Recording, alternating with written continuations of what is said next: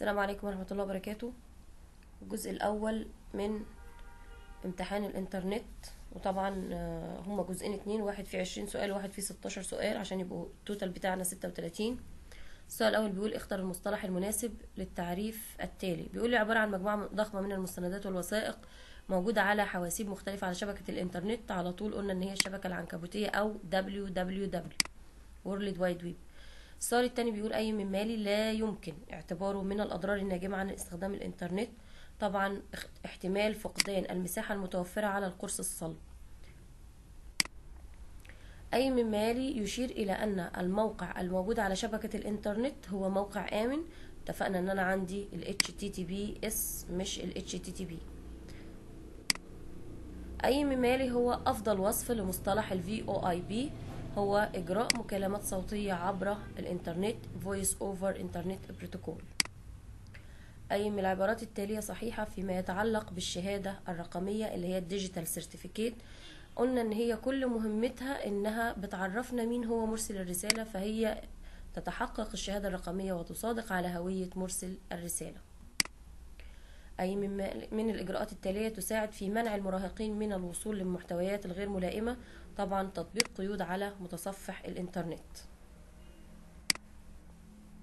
في عنوان الويب www.trainings.org عايز يعرف إيه هو الجزء اللي بيعرف باسم النطاق؟ فبالنسبة لي اسم النطاق أو المجال أو ال domain هو ال org بيقول عند استخدام المنتديات الموجودة على شبكة الإنترنت أي مما يلي ينصح به. يعني كل الحاجات دي ما ينفعش تنصح بيها. اللي بينصح بيه هو تجاهل الرسائل المرسلة من مستخدمين غير معروفين. أول سؤال في العملي بيقول لي اذهب لصفحة الويب bakeshop dot com فباجي هنا في نفس العنوان و over على نفس الكتابة وبرجع كده أمسح الكلام ده وأكتب bakeshop ومش هنقعد نقول بقى كتابة الإيميل أو كتابة الموقع الكلام ده كله بيتم سمول وبيتم آه لازق في بعضيه ما بيبقاش فيه فواصل بالمسطرة طيب معنى إن هو اداني الصفحة بتاعتي معنى إن أنا كتبت صح. ونقول له التالي. طبعا السؤال بيقول إذهب لصفحة الويب. كتبنا صفحة الويب ودوسنا enter فوداني للصفحة ونقول له التالي. قم بتعيين صفحة الويب لتكون الصفحة الرئيسية للمتصفح. صفحة الويب عشان تبقى الصفحة الرئيسية. فهنروح على قائمة ملف ونختار عفوا آه، أدوات ونختار منها خيارات الإنترنت. يا إما من علامة الترس اللي موجودة اللي هي بتاعة الإعدادات وأقول له برضو خيارات الإنترنت. هنا وهنا مفيش مشكلة. هنفتح عشان نخلي الصفحة اللي قدامنا دي هوم بيج فبما إن إحنا فعلا في نفس ال- العنوان مش محتاجين نقعد نكتب فهنقول له استخدام الحالية. ونقول له موافق. التالي. عايزني أضيف صفحة لقائمة المفضلة مستخدم نفس المسار. فطبعا عندي كلمة المفضلة قدامي أهي أو علامة النجمة اللي هنا. فإحنا برضو بنضغط على كلمة المفضلة ونقول له إضافة إلى المفضلة. وبحكم إن هو طلبها في نفس المسار ما طلبش مني أحطها في أي folder تاني غير المسار الأساسي ولا طلب مني إن أنشئ folder جديد يبقى بضيفها على طول وأقول له إضافة.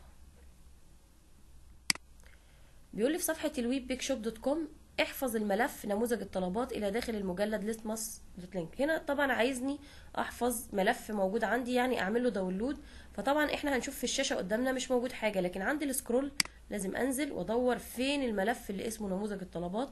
بلاقيه تحت عندي ملفين PDF واحد منهم اسمه نموذج الطلبات. بضغط عليه click شمال وببدأ أقول له استعرض المسار اللي هو عاوز يحفظ فيه. فهو عايز يحفظ في ال document litmus هو أصلا موجود فيه. بس تحسبا لأي خطأ لازم نتبع الخطوات ونقول له okay.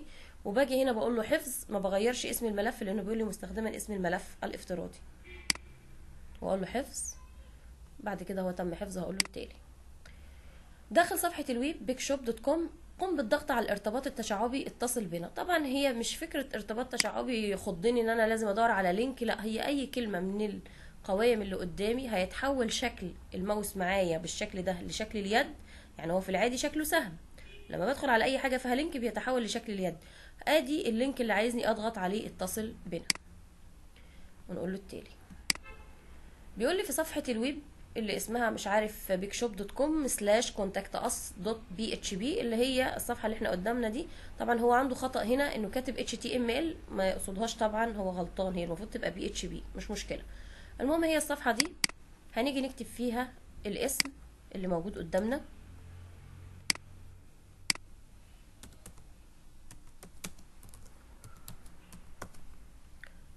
ورقم الهاتف اللي موجود قدامنا. ونكتب له الميل اللي عايزه. وبرده الميل يا شباب بيتكتب سمول وال at بنعملها ب shift اتنين. mymail dot com وطبعا هنا نوع الطلب هو فكرة نوع الاستفسار. بنضغط عليها ونختار قائمة الأسعار. ونيجي نكمل هنا ال scroll بتاعت السؤال هنلاقي فيه بيقول لي قم بالضغط على زر التقديم فبضغط على التقديم. تمام ونقول له التالي. نيجي لسؤال بيقول لي انتقل لصفحة الويب إحنا already موجودين فيها عشان بس دايما عيني على صفحة الويب وعيني على العنوان اللي مكتوب في ال URL أو صفحة الإيه؟ العنوان الموقع. بلاقي إن أنا فعلا واقف فيها فهو كل اللي عايز إن أعمله أطبع نسخة من هذه الصفحة فأنا بروح له على قائمة ملف وراح أقول له إعدادات طبعا إيه؟ مش إعدادات طباعة بنخش على كلمة طباعة على طول. تمام؟ وهنلاقي عندي هو عايز عدد النسخ نسخة واحدة بس ونقول له طباعة. نقول له التالي.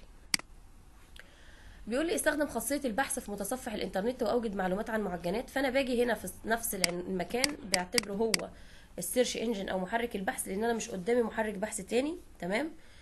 أو بتضغط كده طبعا ما بتلاقيش حاجة في ال history موجودة فأنت طبعا بتروح عشان تكتب الكلمة اللي عاوز تبحث عنها. هتكتب له كلمة معجنات.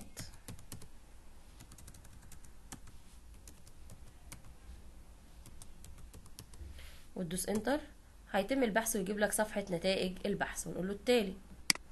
طيب بيقول لي حسن البحث بتاعك باستخدام ميزة البحث المتقدم. فأنا عندي كلمة بحث متقدم قدامي أهي بنضغط عليها. هنا بيقول لي إيه؟ عايزني أبحث باستخدام عبارة. العبارة اسمها معجنات سريعة فأنا عندي عشان أحسن البحث يا إما بيديني كذا كلمة وأكتبها في الحقل بتاع هذه أو جميع جميع هذه الكلمات يا إما مديني عبارة زي كلمة معجنات سريعة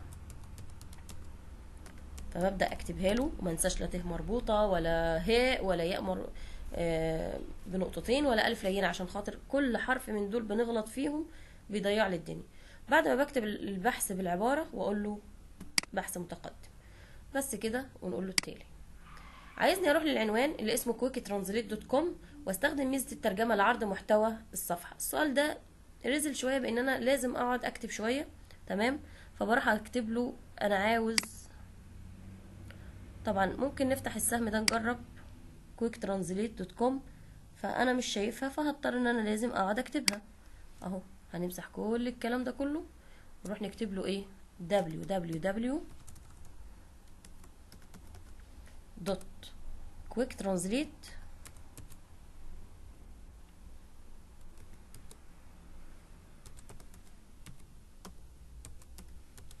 dot com تمام. وأروح دايس له enter هو اداني صفحة ال Quick Translate مهمتي هنا إن أنا أدخل الرابط. طبعا إحنا ما عندناش copy و paste والكلام ده لازم تكتب برضو www. بيك dot com. ماشي. وراح أقول له ترجم لي. من الإنجليزية إلى مين يا شباب؟ عايزني أترجمها باللغة الإسبانية فهضغط له على الإسبانية وأقول له ترجم. هو اداني فعلا صفحة البيك شوب ولكن مترجمة بالإسبانية يبقى أنا كده تمام وأقول له التالي. خلي بالك أنت لو كاتب أي حاجة غلط مش عمره هيدي لك النتيجه ولا هيدي لك اللي أنت عايزه. طيب باستخدام تبويب تعليمات عندي تبويب اسمه تعليمات أهو اللي هو بالنسبة لي بالإنجليزي help عايزني أستخدم التعليمات واقول له تعليمات Litmus Link أو Litmus Explorer عشان أعرض معلومات عن كلمة اسمها إدارة المفضلة أو عنوان اسمه أو موضوع اسمه إدارة المفضلة. فأنا كده عرضت المعلومات قدامي أهي. وبعد كده بيقول لي قم بعرض هذه المعلومات وأغلق النافذة. قفلنا النافذة ونقول له التالي.